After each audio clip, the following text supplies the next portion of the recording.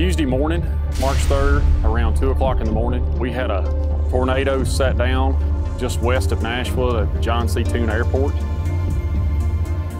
As you can see, the damage has been horrendous. The situation on the ground, what we've seen is the, the tornado that's, um, that's cut a swath about a half a mile wide through our city heading to the eastern part of Middle Tennessee. The fact that the tornado came through this urban area late at night after midnight, a lot of folks were home. The kids were home away from the schools. A lot of folks were not in the businesses.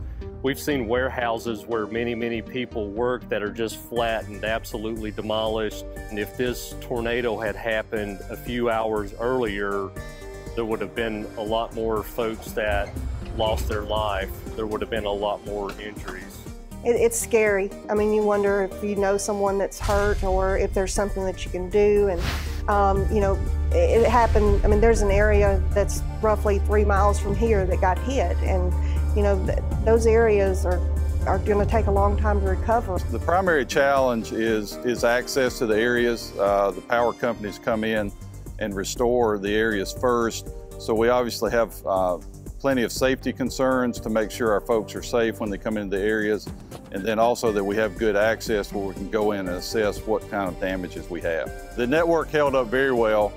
We, uh, we primarily focus on uh, getting our cell towers back up and functioning that allows wireless data to be transmitted, it allows our first responders to use our network so that we can communicate. So that's been our first priorities. And then we prioritize our restoration efforts based on what we find in those assessments. I've seen AT&T get out there and there's charging stations that's put up and they're trying to get people's cell phones back on so they can let their families and everyone else know that they're you know out there and, and that they're okay. We had multiple cell sites down. We had central offices that were on generator power. We had over 50 RT sites that were down. Don't really know how many network elements we had lost just in cable and fiber alone. Uh, the cell site recovery within 24 hours was pretty amazing. We also stage a FirstNet SatColt truck here in Nashville at one of our locations. It was deployed on Tuesday morning early. It was set up and online in the Cookeville area to provide FirstNet cell service. We called in additional SatColts. There's currently two deployed in the Putnam County, uh, Cookeville area, and we've got one on standby. I think getting out in your community and making a difference is what we all need to try to do.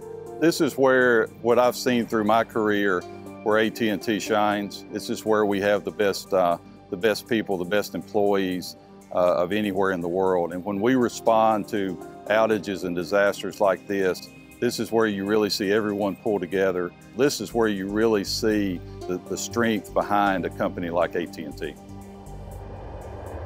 We will rebuild this network and it'll be better than it was before because it's who we are and it's what we do.